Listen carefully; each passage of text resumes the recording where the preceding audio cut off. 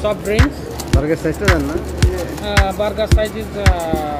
good, not good, small. Huh?